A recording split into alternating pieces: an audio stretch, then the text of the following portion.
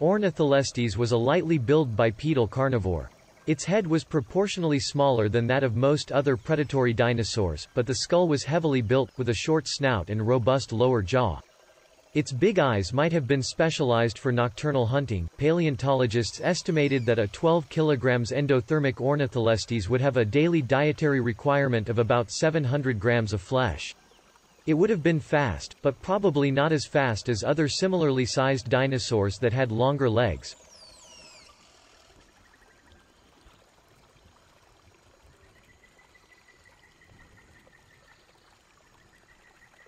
Pelecanimimus is a special dinosaur as it is considered to be one of if not the earliest known ornithomimosaur. It also stands out from later forms because of the large number of teeth that are still present within its mouth, around 220 in total. Harpymimus is another primitive ornithomimosaur. It seems to display a change in dietary focus from meat to plants, something which is indicated in the upper jaw being toothless, while the only teeth remaining in the lower jaw being small and cylindrical.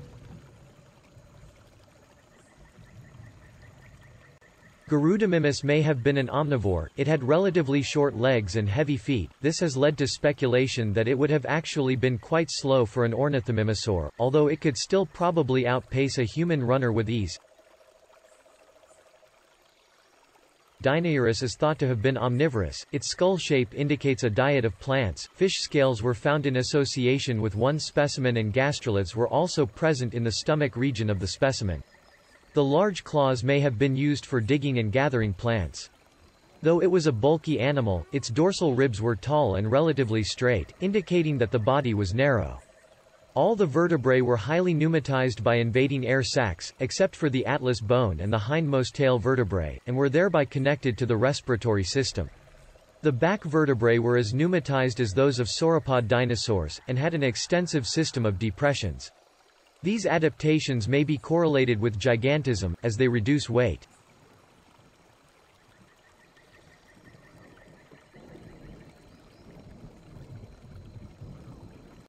The habitat of Timimus consisted of polar forests with mild summers but cold and dark winters due to the closer proximity of the area to the South Pole during the early Cretaceous. It was thus presented as proof that the group was indeed present in the southern hemisphere and would even have originated there.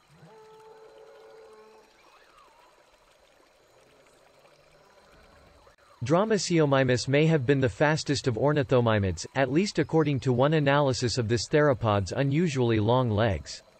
It was also notable for its relatively large eyes and correspondingly big brain, which matched up oddly with this dinosaur's weak, toothless jaws. Like other ornithomimid, Gallimimus would have been a fleet animal, using its speed to escape predators. Its speed has been estimated at 50 km per hour. It may have had good vision and intelligence comparable to ratite birds. The highly mobile neck may have helped locate small prey on the ground, but it may also have been an opportunistic omnivore. The diet of Ornithomimus is still debated. As theropods, ornithomimids might have been carnivorous but their body shape would also have been suited for a partly or largely herbivorous lifestyle. Its large eye sockets suggest a keen visual sense, and also suggest the possibility that they were nocturnal.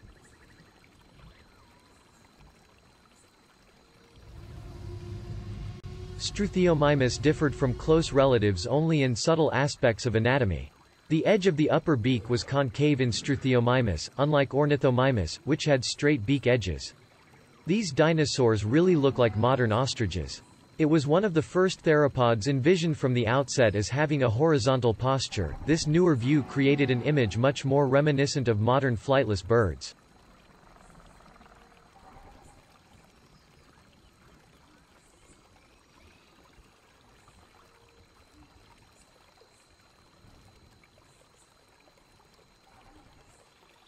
Alvarezsauridae is a family of small, long-legged dinosaurs. Although originally thought to represent the earliest known flightless birds, a consensus of recent work suggests that they evolved from an early branch of Maniraptoran theropods. Alvarezsaurids were highly specialized. They had tiny but stout forelimbs, with compact, bird-like hands. Their skeletons suggest that they had massive breast and arm muscles possibly adapted for digging or tearing. They had long, tube-shaped snouts filled with tiny teeth. They may have been adapted to prey on colonial insects such as termites, like modern anteaters.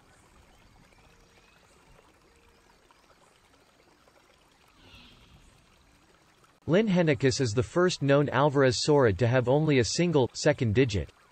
However, it was shown by cladistic analysis to have been a basal form as is indicated by the fact that its enlarged digit is not as large or robust as with more advanced forms.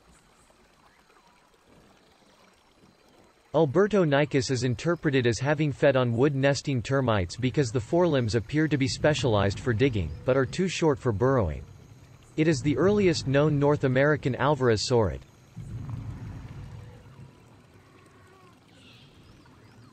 saurid. Shuvuuia was found surrounded by small, hollow, tube-like structures resembling the central vein of modern bird feathers.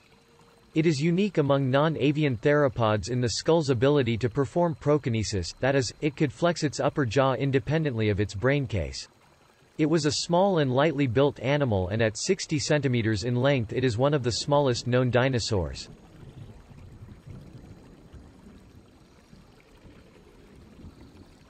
Montanalus was likely very nimble and could run at high speeds, something that would have been useful in the open flood plains where it lived.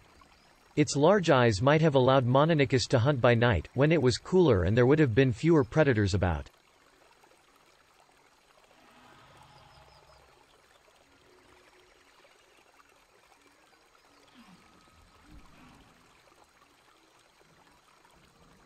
The description of Falcarius clarifies the early evolution of the Therizinosauria and their relationship with the larger group of theropod dinosaurs, because Falcarius is a transitional form between older theropods and the much-changed Therizinosauridae.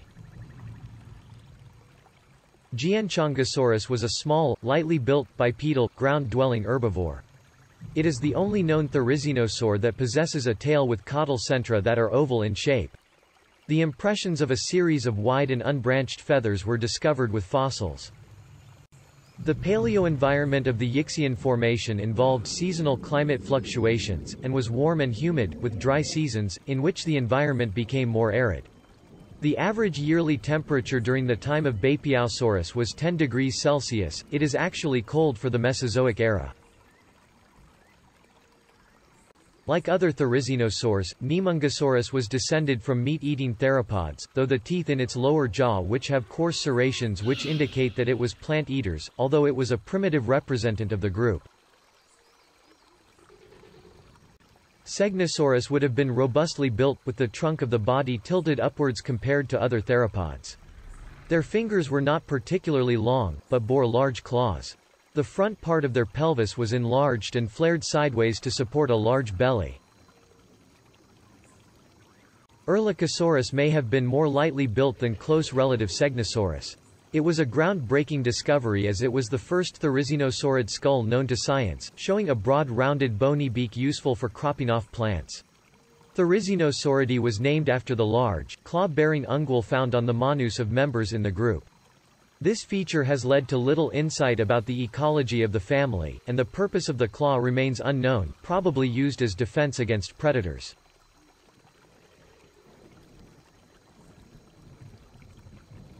Therizinosaurus was the largest and its claws were specially long and probably reached 1 meter in length.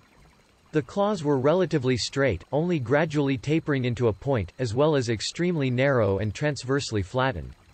A theory about the claws is that they were aids in reaching up into the tree canopy to pull down choice pieces of vegetation, in the same kind of way that a modern-day sloth will also use its long claws to reach its food.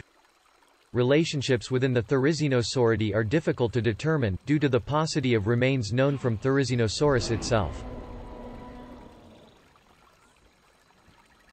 A fossil of Nothronychus was recovered from a marine deposit, this means that this individual Nothronychus had somehow been swept out to sea and finally come to rest on the bottom of what would then have been known as the Western Interior Seaway.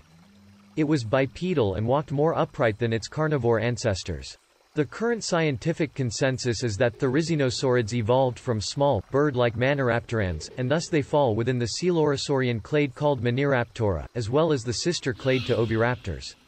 Most studies have concluded that within Maniraptora, therizinosaurians were the first of five major groups to diverge.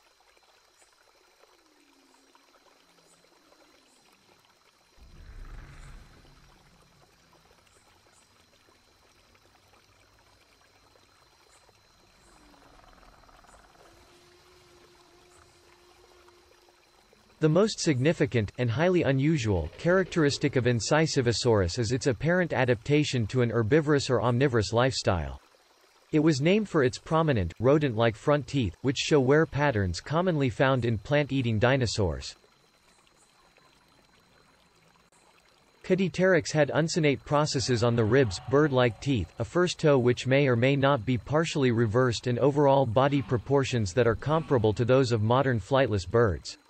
Because Caudipteryx has clear and unambiguously pennaceous feathers, like modern birds, and because several cladistic analyses have consistently recovered it as a non-avian, oviraptorid, dinosaur, it provided, at the time of its description, the clearest and most succinct evidence that birds evolved from dinosaurs.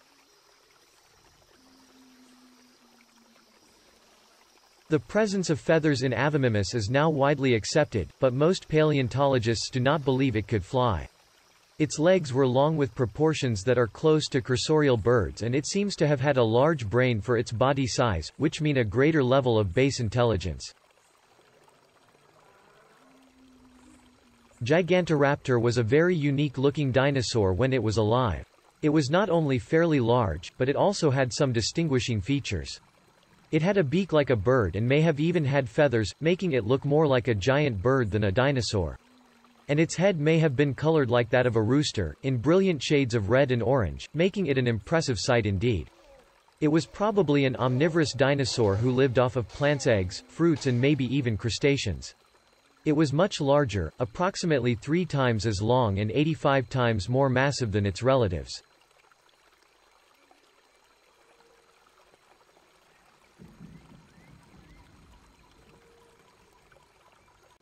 The hand function of Chirostenotes and found that its elongated second finger with its unusually straight claw may have been an adaptation to crevice probing. They suggested it may have fed on soft-bodied prey that could be impaled by the second claw, such as grubs, as well as unarmored amphibians and mammals.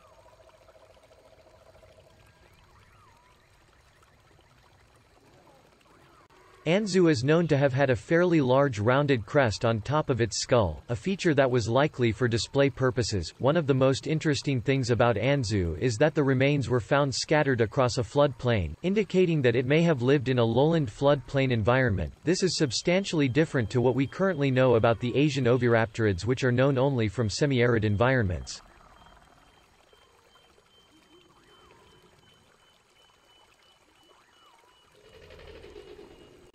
Oviraptor is known from a single partial skeleton, as well as a nest of about 15 eggs that have been referred to this species.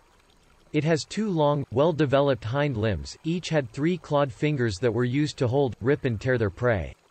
The oviraptor had large eyes with bony rings and an unusual cranial crest along with a toothless beak. Its name is Latin for egg seizer, referring to the fact that the first fossil specimen was discovered atop a pile of what was thought to be Protoceratops eggs.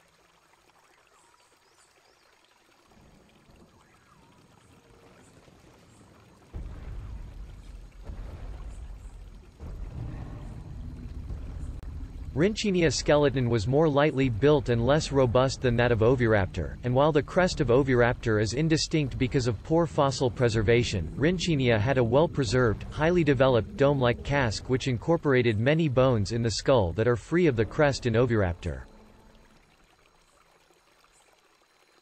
Conchoraptor does not possess a head crest. It is speculated that it, and possibly other oviraptorids may have fed upon mollusks since their beaks would have been well suited to crushing shells. Citipati is one of the best-known oviraptorids, thanks to a number of well-preserved skeletons, including several specimens found in brooding positions atop nests of eggs. These nesting specimens have helped to solidify the link between non-avian dinosaurs and birds. The largest Citipati were emu-sized animals and were the largest known oviraptorids until Gigantoraptor was described in 2007. Preservation of the pigments biliverdin and protoporphyrin in eggshells belonging to Heyuania indicate that they were blue in color. The arrangement of the eggshells suggests a partially open nest arrangement for Heyuania, and also indicates that it engaged in increased parental care.